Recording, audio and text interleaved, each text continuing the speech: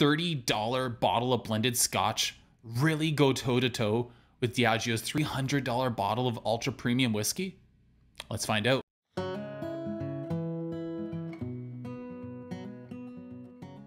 Hey guys, welcome back to Whisky on the West Coast. My name is Matt, and today we're doing a head to head review and comparison of two blended Scotch whiskies.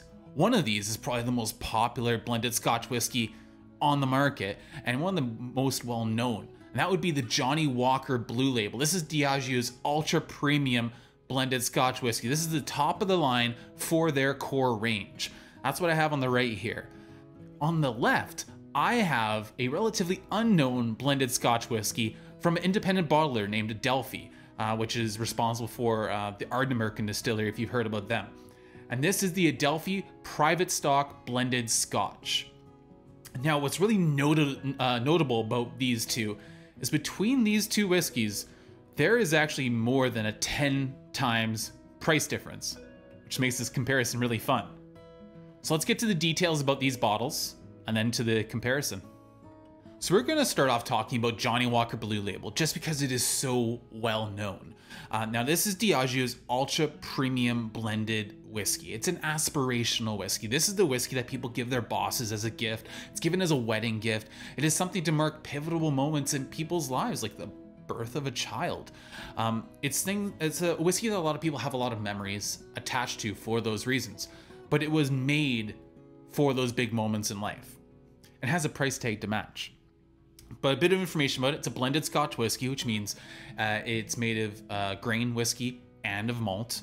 Uh, it's 40% ABV. Uh, it's colored and it's chill filtered. Uh, and it was first released in 1992. Uh, now, this is Johnnie Walker's most prestigious whiskey in their core range, their core lineup. And again, it's probably the most famous of the super premium blended whiskeys. It's made up of the finest uh, old aged malt and grain whiskeys in the Diageo warehouses. Um, they use the line only one of every 10,000 casks uh, has the character required to, and blah, blah, blah, to be part of this blend. So they're saying, okay, very little of our stocks are up to snuff to be able to go into this blend. That is how select, how choice it is. So of the choicest stocks, sure. It's comprised of malt and grain whiskeys of at least 28 years of age and up. So that's a big that's a big age. Um, and there's 13 different malts and grain distilleries in it, and included in those are uh, malt distilleries like Linkwood and Caol Ila. So some some very um, very top notch malt distilleries in the Diageo lineup.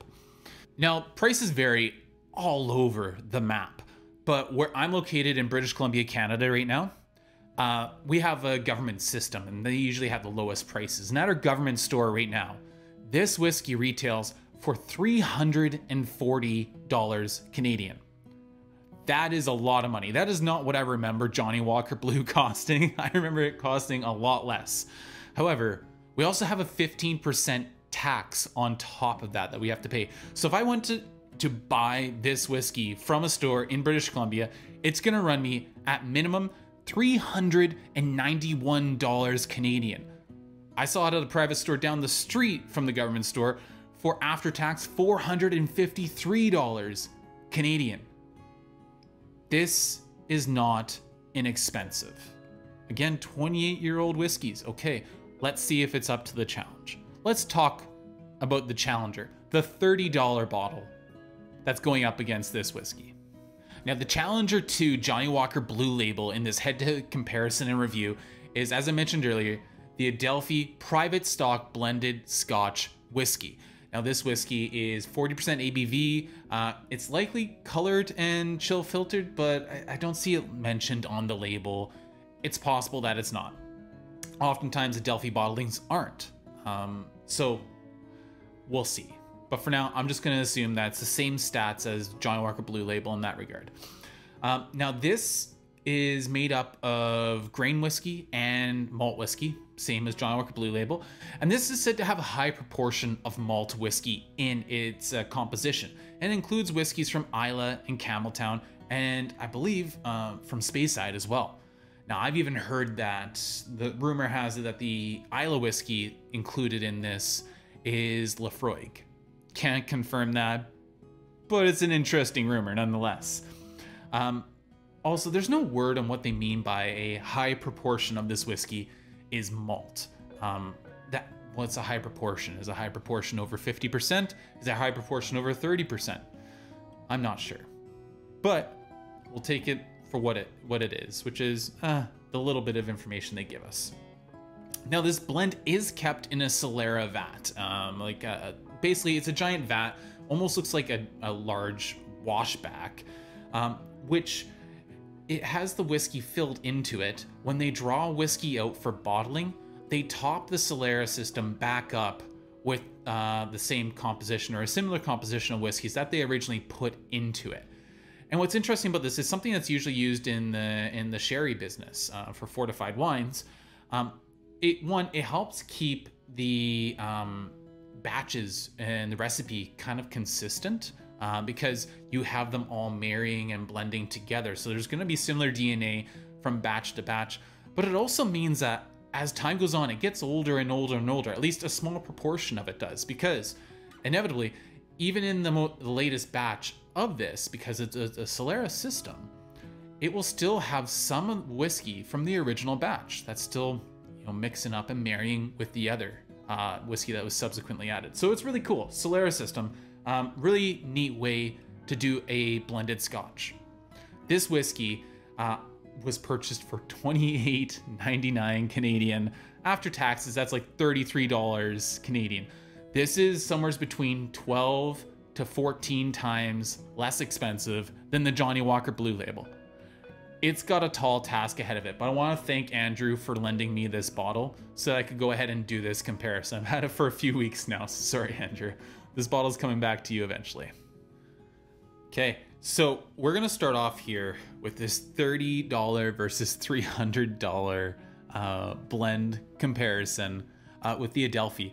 Um, as the challenger, I think I, I, owe it to Johnnie Walker Blue to be able to follow this up. And um, yeah, this might be younger. It, it certainly is younger than the blue, so this should go first in lineup. Hmm. Honey, grass, a touch of oak. And by oak, I mean like the oak spice, like just at the, the very end of the nose uh, there. And very prominent, there is um, there is peat, and it feels like medicinal peat. Um, it's not prominent, but it's definitely noticeable and recognizable. And it doesn't profile like a um, a Ila or uh, uh, a you know Lagavulin peat. This profile is more like that Laphroaig peat. Maybe I'm just in my head because it's been mentioned, but my nose would agree with with that that rumor that the the Islay malt may be Laphroaig. So that wisp of peat. Behind that, there's a touch of sour um, on the nose. Maybe some like uh, apple cider vinegar sort of thing. It's a little acidic in that way. But there's also like a little solventy note too. Maybe that's uh, some of the grain there. You know, certainly you can tell there's grain in there, but the malt content is evident on the nose. Seems well integrated. I get um, white chocolate and yeah, green apples.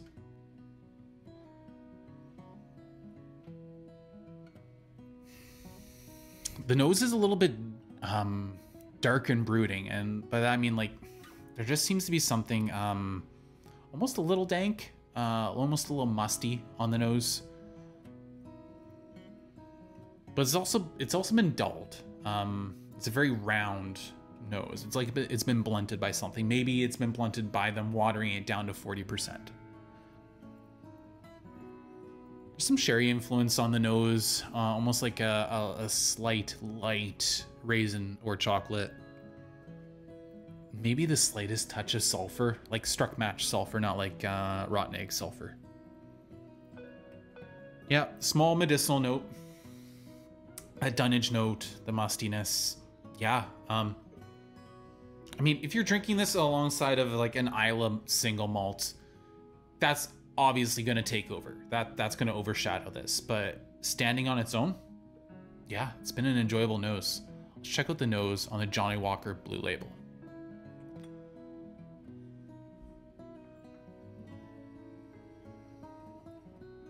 Okay, so we got light smoke and leather. Some grape. I mean, like green grape. Wow. Yeah, this nose is really nice. Um, and noses like this should be oily and thick and should have just really viscous mouthfeel.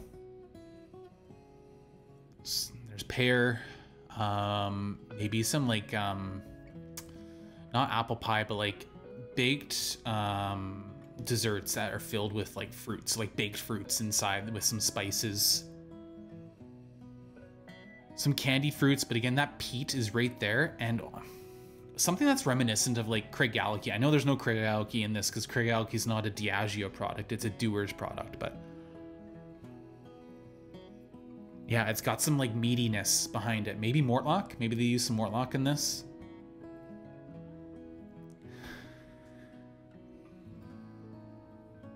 Yeah, there's got to be some sherried malt in here too. But I think what's really jumping out at me right now is that I feel like I can peg some Talisker peat in this. I know I mentioned that they use Caol Ila, but I get like a Talisker minerality off of it. Maybe that's what I was going where I was going with the Craig Craigellachie. It's a very Talisker note on the nose. Again, that raisin, that grape, dark fruit. Some tropicals mixed with um, that light smoke. Um, this is a phenomenal nose. If if I'm if I'm A being these two noses here, I mean Yeah, I mean this comes off more simple. Um doing a direct comparison, this comes off uh much flatter. This this nose is alive. Yeah. Um a little bit of a spoiler. I think the nose might be the best part of this whiskey. All right, let's get to the palate. So, the Adelphi blended stock on the palate.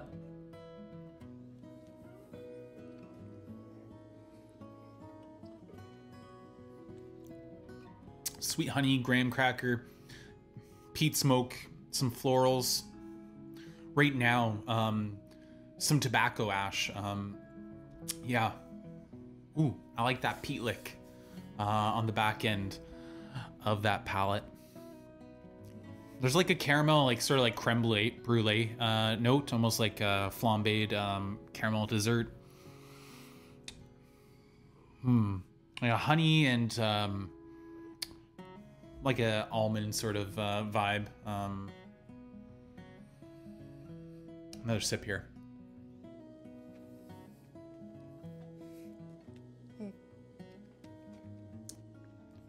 Yeah, there's a coastal a coastalness to this.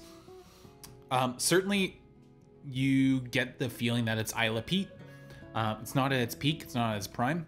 Um, again, it's been blunted, but the peat is there, and the peat shows up even more in the finish right now that I'm experiencing um, than the front of the palette. It's just around the edges on the palette, and then it really shines in the finish.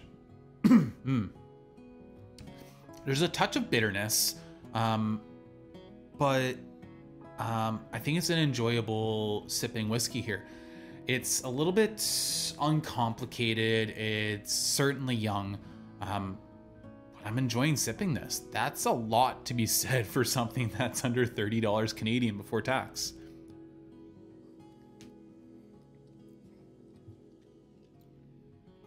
Yeah. Yeah, I'd drink that. I'd drink that if offered. Um, the finish again, just smoke whip wisps, um, some peppering, some spice right now. Maybe, um, yeah, some sort of like cigar parlor smoke. Um, impressive for again, thirty dollars. Let's try out this Johnnie Walker Blue label palette.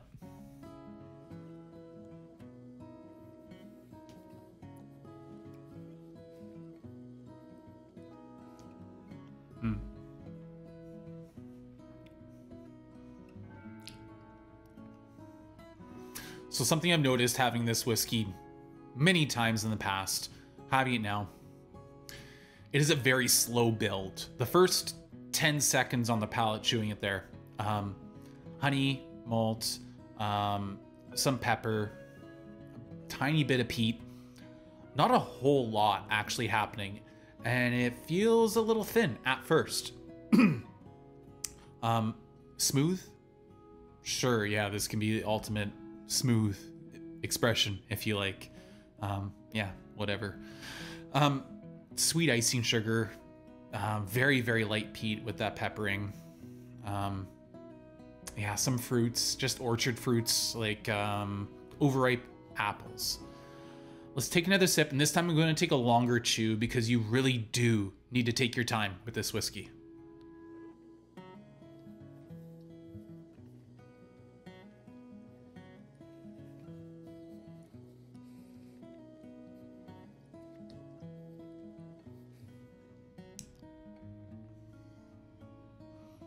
Such a difference. Really, truly rich now. Um, yeah, full-bodied leather, like a room filled with like leather-bound books. If I can uh, quote Ron Burgundy, um, that peat really does seem to uh, correlate to Talisker peat for me. Um, a certain um, sort of uh, industrial note in there too. Um, there's some some sort of dunnage tones too. A lot better with time. You really need to take your time with this whiskey when you're sipping it. Um, yeah, you you better take your time with it, or else you're gonna miss the whole thing. You're gonna miss the malt impact. I think the front end is the grain, and then as you chew and as it goes on to 15, 20 seconds, that's that malt content and that old malt content taking over. Yeah. Um, it's not thick. It's not voluptuous. It's not oily like the nose seemed to promise me. Um, and so I'm disappointed there. I think again, I think the nose might be the best part of Johnnie Walker Blue Label. I've spent 45 minutes to an hour with the nose before because it is really good. Um, but the palate you really need to nurse. Let's take another sip here. Talk about the finish.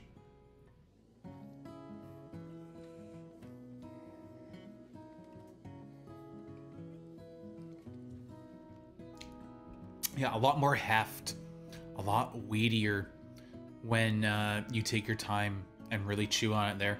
But again, it's it's thin. It's 40%. There's not much you can do with modern day 40% whiskeys um, to really save the body, it seems.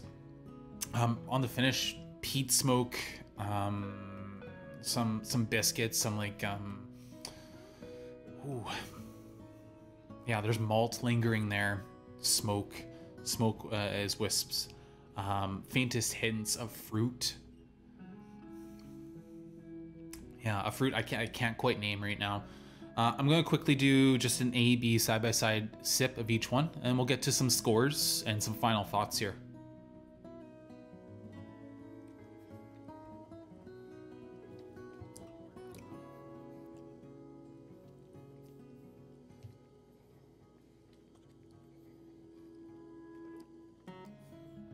Yeah, there really is no replacement for time in the cask. You can try all you want to try and make up for that, but it is evident that this is younger than the Johnnie Walker Blue. And if I had to say it, the Johnnie Walker Blue does have a slightly thicker mouthfeel. But here's the real question here um, as we're comparing these two Is my enjoyment of the Johnnie Walker Blue label that much greater, 12 to 14 times greater than that, which is in this Adelphi private stock? How could it be?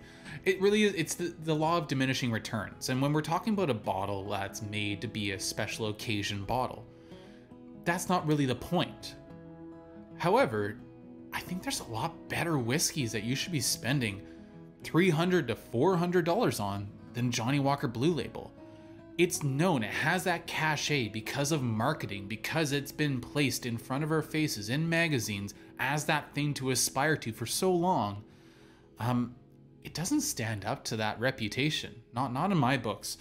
and, and I think it really this this whiskey, this Adelphi private stock, has shone a light on the Johnnie Walker Blue Label, kind of exposing it for what it is a mass marketed luxury whiskey.